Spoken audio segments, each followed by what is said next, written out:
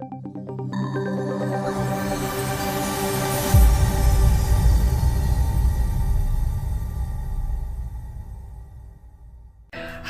everyone, happy Sunday. I hope you guys had a wonderful time in the presence of God. We had a nice time at my church.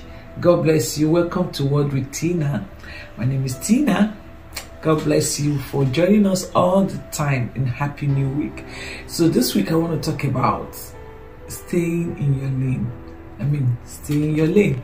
And I'm talking to believers, I'm talking to we Christians, you know stay in our lane is very very important and also actually to stay in your lane requires you to be sensitive to the holy spirit because first for you to stay in your lane you have to know what your lane is what your job is what your duty is what you have been called to do you have to first recognize that and then you stay there you know by the leading of the holy spirit and i want to read for to us from ephesians chapter 4 I'm reading from verse 11. And he himself is talking about God. Gave some to be apostles.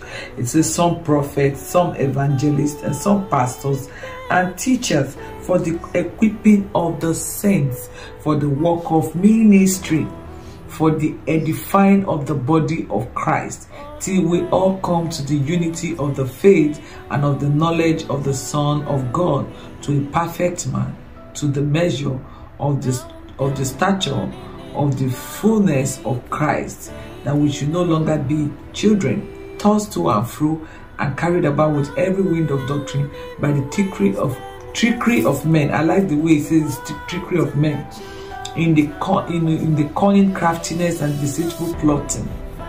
Beloved, this year if you must be successful as a christian this year if you if you want to save yourself some headache like you know they will say to to maintain some mental you know to uh to have a mental um balance to balance your your your your mental health you know that. You have to stay in your lane. Because if there's anything that has ever caused division in the church among the brethren it is the fact that we all run from one lane to the other we don't know what god has called us to do or maybe we know what god has called us to do but yet we still want to go to the other place i tell you you will be wasting your time find out what god has called you to do as a child of god first thing the moment you give your life to christ the second thing that you follow is you finding out your assignment your purpose on earth what is your purpose?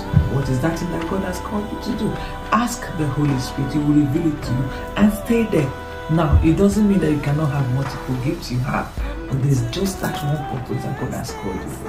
Are you leaving it to jump into another? There's a story that, you know, what a very interesting story in the Bible. I think I wrote it down here. That is in Second Samuel chapter 6, 3, 8. And that's the story repeated itself in First Chronicles chapter 13 from verse 7 to 11. And it talked about when David gathered, he said men of choice, men of choice. There's a reason why he said men of choice. He gathered them to you know sing and shout and they carried the ark of the lord. And as they were going there's this young man the bible said that the, the ark stumbled. The ark stumbled and this young man tried to help but god was angry and god struck him dead. You know the first time i read that scripture i was scared. I said but he was trying to help that's why I said, if you listen to what I said in the beginning, that finding out what God has called you to do, your specific assignment requires you to be sensitive in the spirit. Because I believe the guy was not sensitive in the spirit. He probably, in the eyes of man, was trying to help. But in the eyes of God, he was obstructing what God was doing at that particular time. What is it that you're doing with all your power, all your might, when you're heading towards the wrong direction? You're obstructing what God is doing. You're obstructing the word of God. You are distracting the people that are doing the work of God.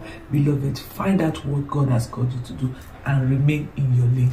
God bless you.